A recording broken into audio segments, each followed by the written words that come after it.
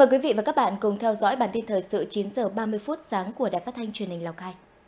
Thưa quý vị và các bạn, trong 9 tháng qua, các chương trình kế hoạch thực hiện nhiệm vụ năm 2023 được Đảng bộ huyện Bát Sát chỉ đạo triển khai tích cực, quyết liệt gắn với những nội dung chỉ đạo của tỉnh.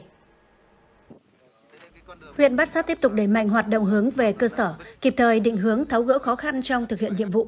Đến nay, 8 trên 32 chỉ tiêu của năm đạt từ 90% đến 100%. 5 chỉ tiêu đạt từ 70% trở lên. Thực hiện nghị quyết 10, huyện đã hình thành vùng sản xuất nông nghiệp tập trung với một số cây trồng chủ lực như cây lê, cây dược liệu, cây chuối. Công tác xây dựng đảng tiếp tục được quan tâm triển khai thực hiện, đảm bảo yêu cầu trong tình hình mới. Thời gian còn lại của năm, Bát Sát tiếp tục thực hiện đồng bộ hiệu quả các giải pháp phát triển kinh tế xã hội nhằm hoàn thành và hoàn thành vượt mức các mục tiêu chỉ tiêu kế hoạch của năm. Thực hiện hiệu quả ba chương trình mục tiêu quốc gia, chỉ đạo sản xuất nông lâm nghiệp theo mục tiêu của Nghị quyết 10, đẩy mạnh tiến độ giải phóng mặt bằng, thúc đẩy giải ngân. Tính đến ngày 30 tháng 9, toàn tỉnh đã giải ngân hơn 292 tỷ đồng trên 1.183 tỷ đồng vốn chương trình mục tiêu quốc gia phát triển kinh tế xã hội vùng đồng bào dân tộc thiểu số và miền núi, đạt gần 25% kế hoạch năm. Như vậy, tiến độ giải ngân một số dự án thuộc chương trình mục tiêu quốc gia phát triển kinh tế xã hội vùng đồng bào dân tộc thiểu số và miền núi ở Lào Cai còn chậm. Cụ thể là các nguồn hỗ trợ về quy hoạch, sắp xếp, bố trí, ổn định dân cư, phát triển sản xuất nông lâm nghiệp bền vững, phát huy tiềm năng thế mạnh để sản xuất hàng hóa theo chuỗi giá trị.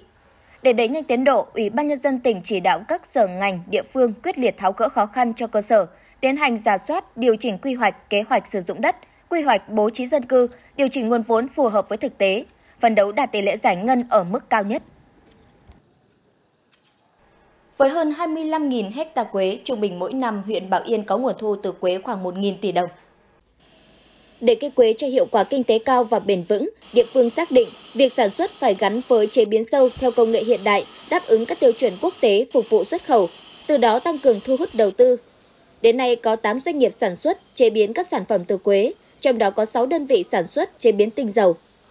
Mới đây, Bảo Yên đã thu hút thêm một doanh nghiệp đầu tư chế biến các sản phẩm từ quế với quy mô lớn để xuất khẩu. Với việc xây dựng các nhà máy chế biến ngay tại địa phương đã tăng tỷ lệ chế biến tinh, tận thu cành, lá, giúp gia tăng lợi nhuận để người dân yên tâm trồng và chăm sóc cây trồng chủ lực của địa phương. Thưa quý vị và các bạn, là đảng viên trẻ nhận thức rõ vai trò gương mẫu để quần chúng học tập làm theo, chị Hàng Thị Trinh ở xã Tả Ngài Trồ, huyện Mường Khương luôn đi đầu trong mọi công việc phong trào ở thôn bản. Đặc biệt, chị cùng gia đình xây dựng thành công mô hình trồng cây ăn quả gắn với phát triển du lịch, góp phần mở ra một hướng giảm nghèo bền vững cho người dân trên địa bàn. Năm nay do bị mưa đá ở thời điểm lê đang đậu quả, nên sản lượng quả bị sụt giảm đáng kể. Nhưng nhờ chăm sóc theo hướng hữu cơ, quả to, chất lượng đẹp, có giá bán cao, nên nguồn thu của gia đình chị Hàng Thị Trinh vẫn đảm bảo. Ngoài bán quả, gia đình chị còn có thêm thu nhập từ du khách tới trải nghiệm. Đầu tiên là cũng chỉ nghĩ là chăm lê như thế nào để cho lê nó phát triển và mình kiếm được một cái ờ, thu nhập từ cái việc bán lê. Tuy nhiên là khách người ta đến thì người ta rất là thích trải nghiệm. Những cái gì thiên nhiên nhất thì đó là những cái mà uh, khách hàng người ta thích nhất và người ta yêu chuộng nhất. Cái đợt hoa vừa rồi thì khách người ta đến thì người ta cũng rất rất là thích học cái điệu nhảy sinh tiền của chúng tôi. Thế nên là tôi gia đình chúng tôi cũng rất là mong muốn là phát triển được cái uh, du lịch đấy. Nguồn lực hạn hẹp nên gia đình chị Trinh triển khai từng bước đặc biệt là luôn tham vấn ý kiến từ ngành chuyên môn hoặc đơn vị làm du lịch có kinh nghiệm. Trước mắt là ưu tiên chăm sóc vườn lê theo hướng hữu cơ, tạo cảnh quan đẹp, đồng thời vận động các hộ trồng lê khác cùng làm theo để tạo thành vùng chuyên canh.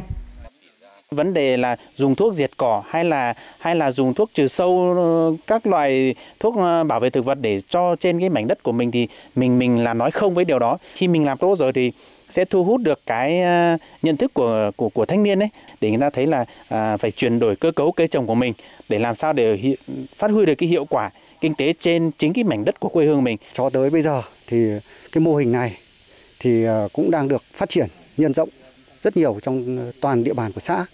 Và để làm được có hiệu quả này ấy, thì là phía cấp ủy chính quyền địa phương ấy cũng đã um, tích cực là hỗ trợ cho người dân là về cái kỹ thuật uh, kỹ thuật trồng và cái uh, chăm sóc cái, cái cái cây lê. Về kỹ thuật chủ yếu là kỹ thuật.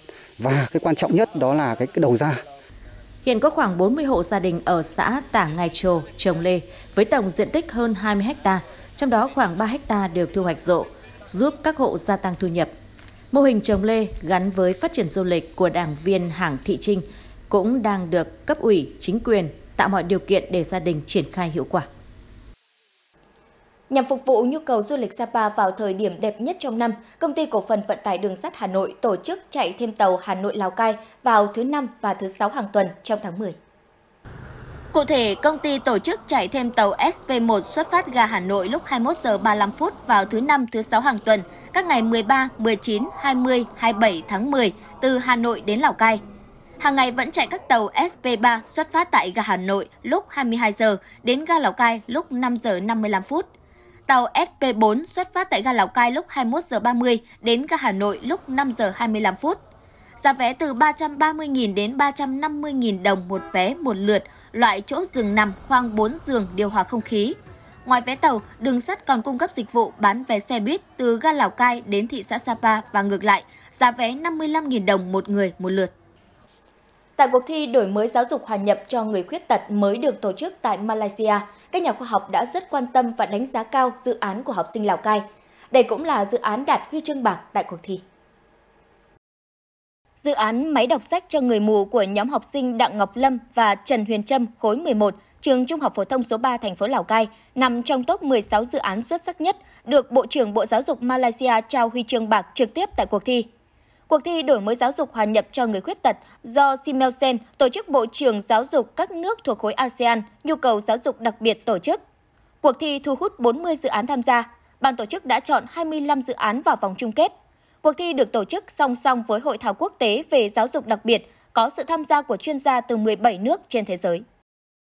Khoảng một tuần trở lại đây, khoa truyền nhiễm Bệnh viện Sản Nhi tỉnh đã tiếp nhận và điều trị cho nhiều bệnh nhi với các triệu chứng như sốt, khó thở, thở khò khè do mắc virus hợp bào hô hấp RSV. Thời tiết giao mùa là một trong những nguyên nhân chính khiến virus này bùng phát, lây lan nhanh với trẻ nhỏ. Tại Bệnh viện Sản Nhi tỉnh, theo ghi nhận từ cuối tháng 9 trở lại đây, nhiều trẻ mắc virus hợp bào hô hấp phải nhập viện điều trị. Thời điểm đông nhất có ngày khoa truyền nhiễm điều trị cho khoảng 30 bệnh nhi, trong đó đa phần là trẻ dưới 1 tuổi do hệ miễn dịch còn yếu, virus dễ xâm nhập. Mới 1,5 tháng tuổi, dòng bệnh nhi này đã bị viêm phế quản phổi do mắc virus hợp bào hô hấp RSV. Theo mẹ bệnh nhi, ban đầu bé có các triệu chứng giống như cảm cúm thông thường, Uống thuốc tại nhà không đỡ, khi các biểu hiện ho, sốt, khó thở tăng nặng, gia đình mới đưa bé đến bệnh viện. Em bé ở nhà chỉ thấy sổ mũi với lại ho cho cháu uống siro nhưng mà vẫn thấy cháu không đỡ. Sau rồi bắt đầu em mới đưa cháu lên viện khám thì bé dương dương tính với virus. Đến nay điều trị bé đã đỡ nhiều lắm. Khoa truyền nhiễm, Bệnh viện Sản Nhi tỉnh đang điều trị nội trú cho 76 bệnh nhi, trong đó gần 20 bệnh nhi mắc virus RSV, gây sổ mũi, sốt, khó thở, thở khò khè. Virus RSV có khả năng lây rất nhanh khi phát tán trong không khí qua giọt bắn, mang mầm bệnh và qua dịch tiết đường hô hấp.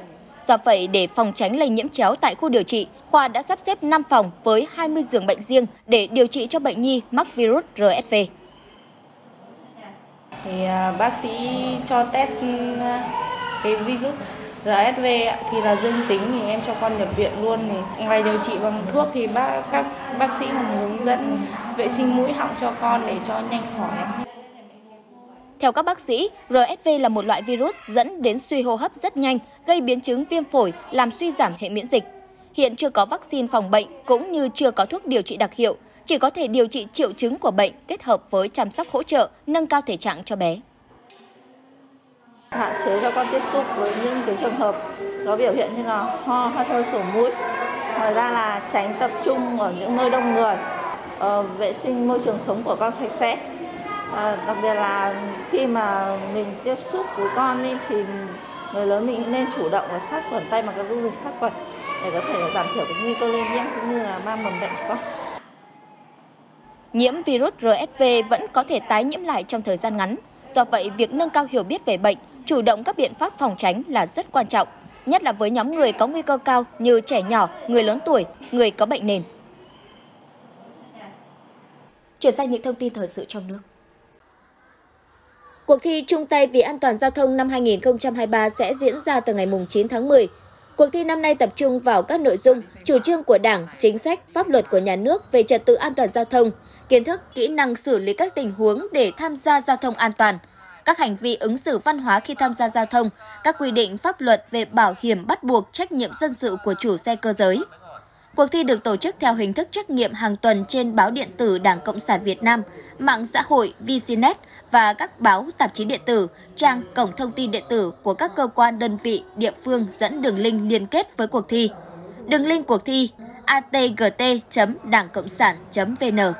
Cuộc thi dự kiến diễn ra trong thời gian 8 tuần, từ ngày 9 tháng 10 đến ngày 4 tháng 12. Đề án đảm bảo trật tự hành lang an toàn giao thông và xử lý dứt điểm lối đi tự mở qua đường sắt đã được chính phủ phê duyệt, đặt mục tiêu đến năm 2025 sẽ xóa bỏ toàn bộ lối đi dân sinh qua đường sắt. Sau 3 năm triển khai, chưa đến 700 vị trí, chỉ khoảng 20% tổng số lối đi dân sinh tự mở được xóa bỏ. Theo thống kê của ngành đường sắt, sau 3 năm mới chỉ xây dựng được 20 km đường gom, hàng rào để xóa lối đi tự mở, trong khi mục tiêu phải hoàn thành là 650 km. Đối với những lối đi tự mở vào các khu dân cư đã hình thành từ lâu, rất khó để xây dựng được đường gom kết nối với đường ngang hợp pháp thì sẽ xem xét các điều kiện cụ thể, từ đó kiến nghị cấp có thẩm quyền nâng cấp thành đường ngang hợp pháp để đảm bảo an toàn giao thông. Khai thác tiềm năng và lợi thế về cảnh quan thiên nhiên và bản sắc văn hóa, nhiều cộng đồng chủ thể trên địa bàn của tỉnh Yên Bái đã tập trung xây dựng, phát triển các sản phẩm OCOP, nhóm dịch vụ du lịch cộng đồng, du lịch sinh thái. Đối với nhóm dịch vụ du lịch cộng đồng, hiện tỉnh Yên Bái có 20 sản phẩm OCOP từ 3 đến 4 sao tại hầu hết các huyện, thị xã trên địa bàn tỉnh. Từ đầu năm đến nay, Yên Bái đã đón trên 1 triệu 568 nghìn lượt khách du lịch đến tham quan, nghỉ dưỡng, tăng 20% so với năm 2022, đem về doanh thu ước đạt 1.284 tỷ đồng.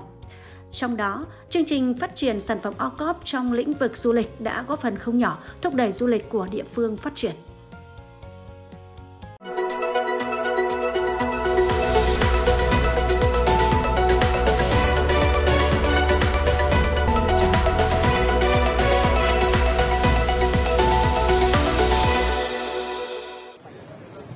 Hôm qua, anh đã ký nhiều thỏa thuận với một số nước thuộc Liên minh châu Âu EU nhằm hợp tác chặt chẽ hơn trong việc ngăn chặn tình trạng di cư trái phép bằng đường biển. Thủ tướng Anh và người đồng cấp Italia đã nhất trí về dự thảo kế hoạch liên quan tới vấn đề di cư với Ủy ban châu Âu EC cùng một số nước khác trong và ngoài EU, gồm Pháp, Hà Lan và Albania.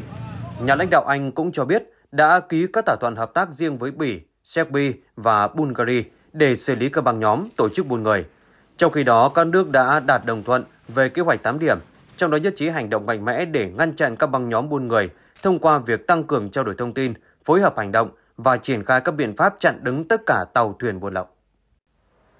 Giá đường trên thị trường toàn cầu trong tháng 9 vừa qua đã tăng lên mức cao nhất trong gần 13 năm qua, sau khi sản lượng ở Ấn Độ và Thái Lan sụt giảm do ảnh hưởng của hiện tượng thời tiết El Nino. Tổ chức Lương thực và Nông nghiệp Liên Hợp Quốc FAO đã đưa ra con số này trong báo cáo công bố vào hôm 6 tháng 10. FAO nêu rõ, chỉ số giá lương thực thế giới trong tháng 9 vừa qua giữ ở mức ổn định, trong khi chỉ số giá đường mà FAO theo dõi trên thị trường toàn cầu tăng 9,8% so với tháng 8, lên mức cao nhất kể từ tháng 11 năm 2010. Chỉ số giá đường đã tăng 2 tháng liên tiếp trong bối cảnh ngày càng nhiều quan ngại về nguồn cung đường cho thị trường toàn cầu eo hẹp hơn trong niên vụ 2023-2024. Ngày 6 tháng 10, Cơ quan Quản lý Hàng không Dân dụng Philippines thông báo 42 sân bay của nước này đã được đặt trong tình trạng báo động sau khi nhận được thư đe dọa đánh bom. Thông báo của Cơ quan Quản lý Hàng không Dân dụng Philippines nêu rõ áp đặt ngay lập tức các biện pháp an ninh tại toàn bộ sân bay thương mại của nước này trong thời gian điều tra thư đe dọa đánh bom. Việc tuần tra được tăng cường, các đơn vị đặc nhiệm được triển khai tại tất cả các gà sân bay. Dù vậy, sân bay quốc tế chính của Philippines ở Manila và hai hãng hàng không lớn nhất vẫn hoạt động bình thường. Theo cơ quan quản lý hàng không dân dụng, lực lượng chức năng nước này đã nhận được thư điện tử đe dọa đánh bom trên một loạt chuyến bay nội địa tới Cebu, Bicol, Nava và Palawan. Liên quan đến vụ xả súng ở thủ đô Bangkok, Thái Lan hôm 3 tháng 10, chính phủ Thái Lan hôm qua thông báo sẽ hỗ trợ khoản tiền lớn cho gia đình các nạn nhân trong vụ việc. Phát biểu tại cuộc họp báo, Bộ trưởng Tư pháp Thái Lan cho biết gia đình mỗi nạn nhân thiệt mạng trong vụ xả súng sẽ nhận được hơn 6,2 triệu bạt, khoảng 167.000 đô la Mỹ, trong khi những người bị thương cũng sẽ nhận được 350.000 bạt, khoảng hơn 9.000 đô la Mỹ. Trong khi đó, Bộ Kinh tế và Xã hội số Thái Lan cho biết sẽ triển khai hệ thống cảnh báo khẩn cấp phát sóng di động trong vòng 6 đến 12 tháng tới nhằm có thể phát hiện đưa ra cảnh báo sớm trong trường hợp xảy ra các vụ việc như trên. Những thông tin quốc tế vừa rồi cũng đã khép lại bản tin thời sự của Đài Phát thanh Truyền hình Lào Cai. Cảm ơn sự quan tâm theo dõi của quý vị và các bạn.